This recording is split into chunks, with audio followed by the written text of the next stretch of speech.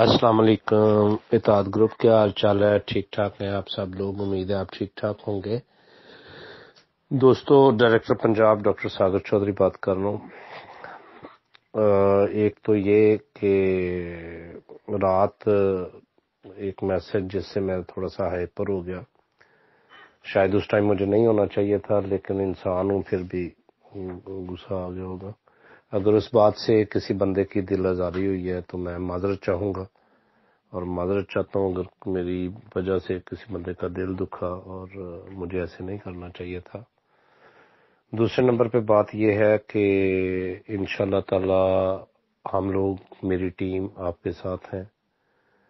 دس تاریخ کا ٹائم دیا تھا آپ کو پیسوں کا اور ان شاء اللہ تعالی میرا کل بھی وہی بات تھی آپ دوستوں کے ساتھ اور آج بھی وہی بات ہے کہ میرا آپ کا اللہ پاک ضامن تھا ہے کہ اگر دس تاریخ کو کمپنی پیسے نہیں دیتی یا کوئی وجہ بنتی ہے تو کم از کم میں آپ لوگوں کے ساتھ کھڑا ہوں گا اور میں کمپنی سے ریزائن کر دوں گا۔ کل بھی یہی بات تھی، آج بھی یہی بات ہے میری۔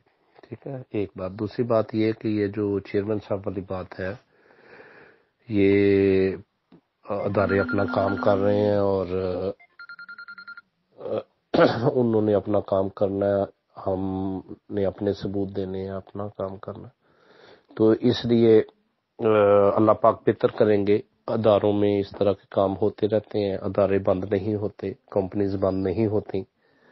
اور جو عدالت فیصلہ کرے گی، ہم سب ہم تسلیم کریں گے اسے۔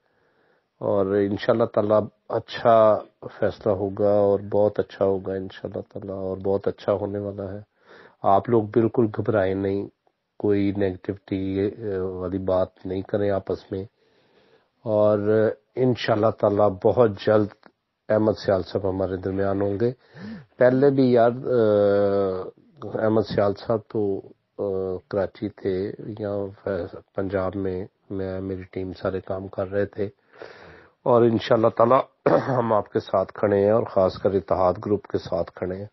بالکل کوئی بندہ یہ نہ سمجھے کہ